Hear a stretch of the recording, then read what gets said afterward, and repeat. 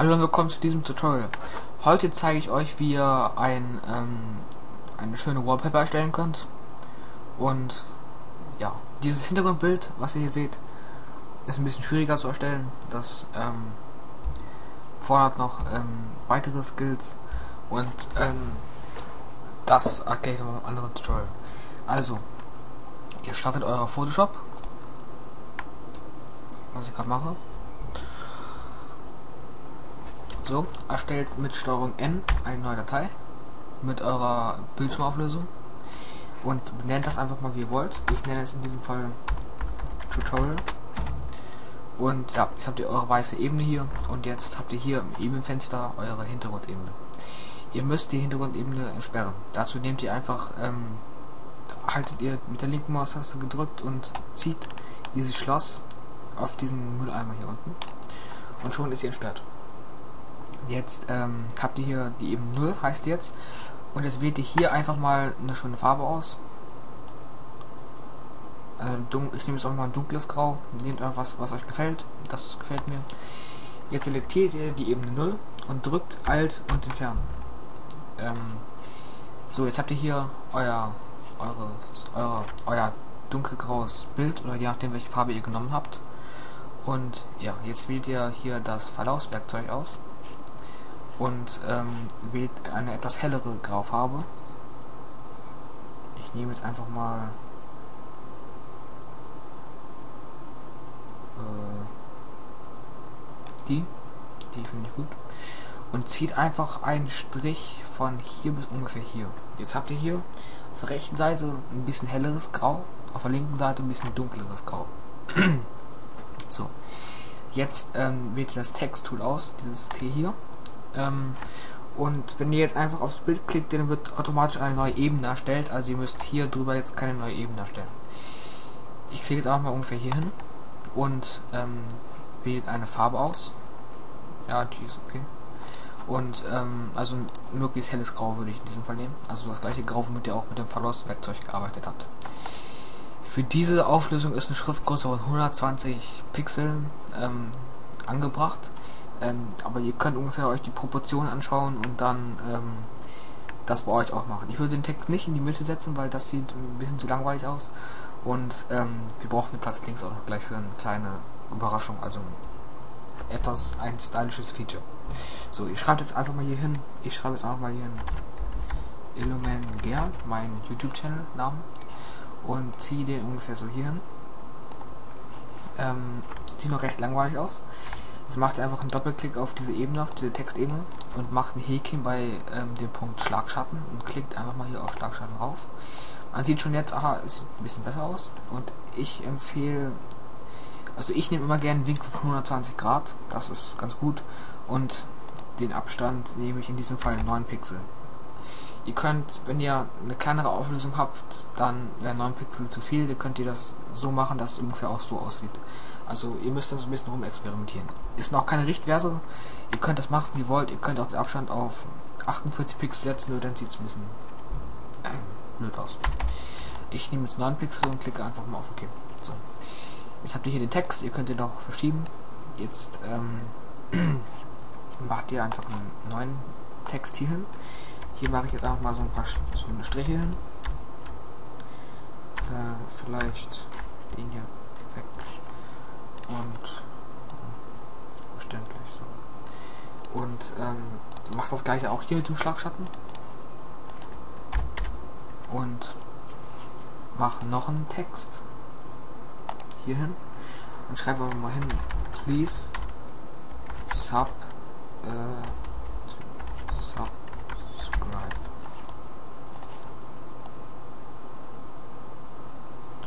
Das ist vielleicht ein bisschen zu, naja. Das ist ein bisschen zu lang, also das sieht ein bisschen doof aus. Da muss ich mal schreiben. Also ich versuche möglichst da anzufangen, wo ich mit dem anderen Text auch angefangen habe. Ich schreibe jetzt auch mal hm. ähm, YouTube. Und ziehe das auch ungefähr in Position. Ungefähr so. Also ihr könnt es hinziehen wie ihr wollt. Das ist keine Richtwerte hier und ähm, macht auch wieder hier einen Schlagschatten. Ähm, ich nehme auch wieder 120 Grad und Abstand von 9 Pixel. Sieht ja schon mal nicht schlecht aus. Und jetzt könnt, jetzt mache ich hier ähm, auch was, noch ein extra Feature. Also ihr könnt diesen ganzen Text mal auf eine Ebene reduzieren, indem ihr alle Ebenen markiert und einfach wählt auf ähm, Ebene verbinden. Quatsch. Ähm, erstellt einfach eine neue Ebene und wählt hier auf äh, auf eine Ebene reduzieren. Jetzt habt ihr einfach, das heißt die Ebene Ebene 1 und das ist euer ganzer kompletter Text. Ja, so ungefähr, okay. Ähm, jetzt geht ihr auf die Internetseite Foto, also gibt einfach bei Google ein Photoshop Brushes und ja, jetzt habt ihr hier eine seriöse Seite, ähm, wo ihr einfach ähm, coole Brushes, also für, für Pinsel ähm, downloaden könnt. Ich nehme jetzt auch mal ein Beispiel. Ich, hier unten sind auch irgendwo Kategorien. Hier unten Kategorien. Ich finde, äh, gucken, was unter Abstract gibt. Particle Smoke. Ah, sieht auch nicht schlecht aus. Ah, das könnten wir auch, glaube ich, gleich in das Bild einfügen. Das wird auch nicht schlecht aussehen. Okay, ihr downloadet einfach mal das, das Teil. Was kann das? Oh, kommt auf eure Internetverbindung an.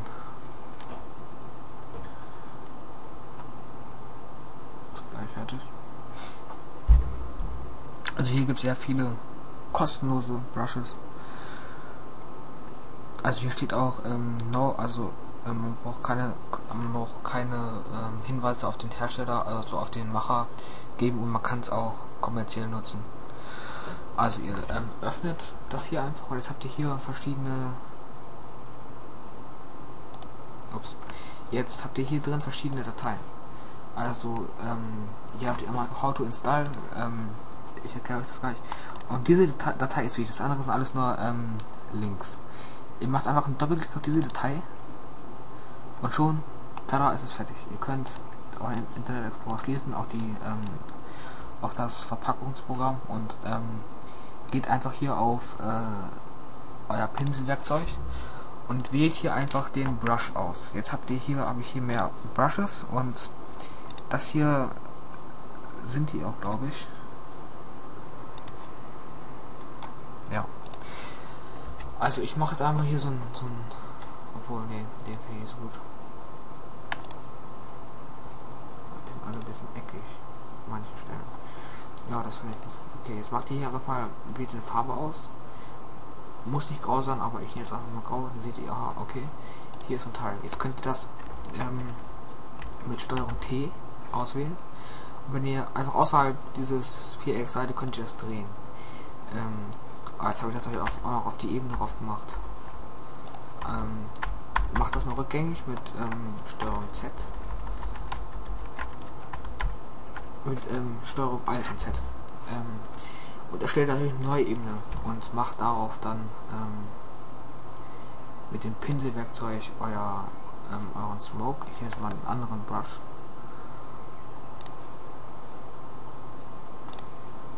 Ihr könnt ihn auch noch größer machen. Das geht alles. Ja, ist zum Beispiel für hier oben so eine Ecke gedacht. Ähm ach, was nehme ich denn mal?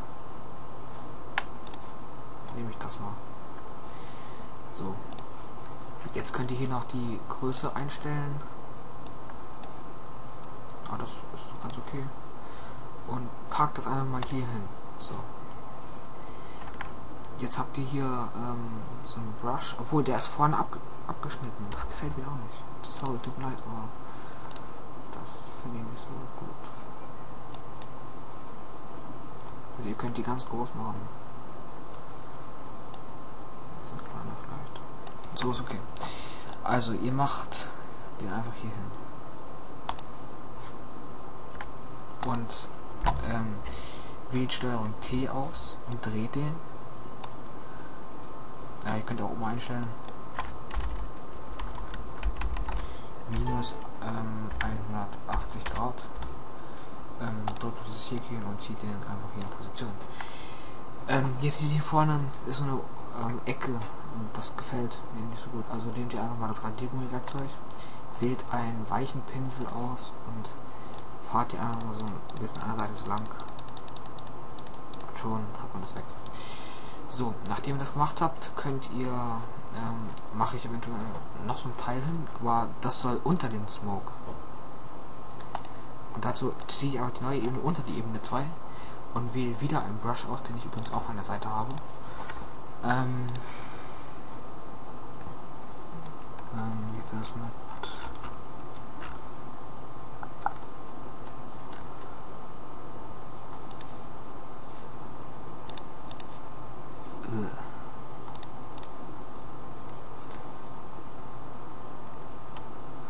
Ich finde den gar nicht, also ein bisschen klein hier dargestellt.